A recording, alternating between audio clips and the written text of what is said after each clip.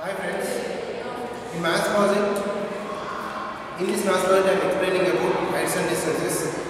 To find out the height of our school building or our houses, any big size trees, plants, we need to find, take the tape and we have to measure from down and we have to find it. But this trigonometry concept we are using in this, trigonometry is nothing but three angle measurement. It is all based on the right angle triangle. Now all the shapes are exactly perpendicular to the base. For example, you see this house. I find it this height of this house without using any tape, only the concept of trigonometry. Now height of the building is exactly perpendicular to the base. Now this is height and base when I measured it came at 40 centimeters. Now form a right angle triangle. So angle from here protracted to this top building is 25 centimeters, 25 degrees. Now 25 degrees is the angle opposite by adjacent is a tan. When applied this formula, when adjacent is 40 centimeters, so tan 25 is equal to h by 40. After applying formula, got is equal to 18.6 centimeters. Now using the scale, you find out it's exactly 18.6 centimeters. For example, if any problem we are getting to the base finding, even though there is alternate measurement trigonometry, now one more exhibit is this height of the tree I am finding without finding even the base. Here I protractors. From one protractor when I measure the angle is around this alpha.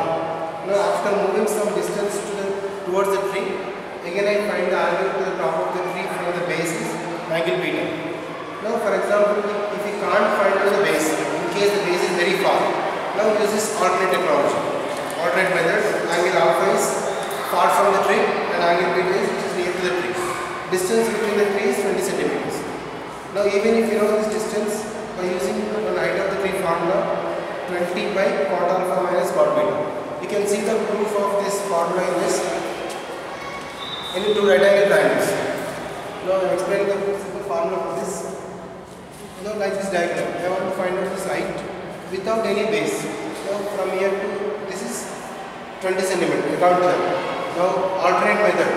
Now distance between alpha to beta is if it is 1 meter and angle is alpha and angle is beta. There are two right angle triangles. From first right angle triangle you get x is equal to h cot alpha minus 1.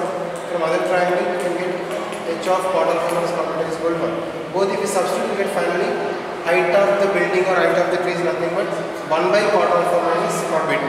Here 1 is how much distance we do. So but in that project we will take 20 centimeters. So 20 by cot alpha minus cot beta. So using the trigonometric calculator, scientific calculator, we can find out the values and by substituting the formula, we will get original height of the tree or original height of the building without using tape. For that, with low cost, low cost, prepare mathematical project purpose. So the base between the two poles is exactly 1 meter. Now we put one protractor and here one protractor. Distance between these two protractors is exactly 1 meter. So from, for example, that side, our left side is the object is there. Now we have to prove find the angle from top, which is far from the object is alpha, which is near the object is only beta. Now from here we have two straws are there. This straw, you can keep the center position. I can find the angle. Now you are finding that is angle beta. If some one more straw, you can keep, and again this angle alpha and angle beta if you substitute in this formula you will get original height of the object. From alternate method we are using if you are accurate for example in the straws also you can't see properly then accurate measurement of our school building walls we can use the concept of some laser light.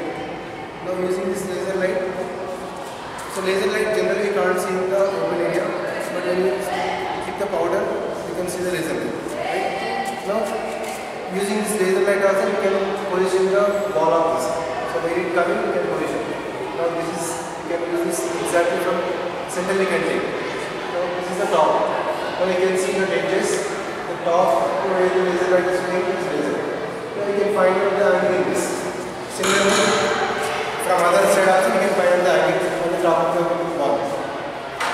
From the center take. By sprinkling this you can see this. Exactly top you can see the laser light. Okay, now this is the angle alpha. Now you can see this coming angle beta. These values you substitute in this given formula will get exactly height of that object. So the main source and use of this project is without any base measurement also you can find it. In this experiment we took 20 centimeters. But additional priority is this. This is completely low cost, no cost. Just 51 meter between them. You can find if you know the two angles from the object by substituting in the formula you can get the height of this. So this is a simple mathematical uh, trigonometry based project. I hope you understood. The preparation of this model and some other videos if you want. There is a link in the description below. Just to click on the link and it will redirect to all the videos which are helpful for the educational site. Means not only maths, you can see science, other subject videos also you can see in the video. So I hope you understood well. Have a nice day.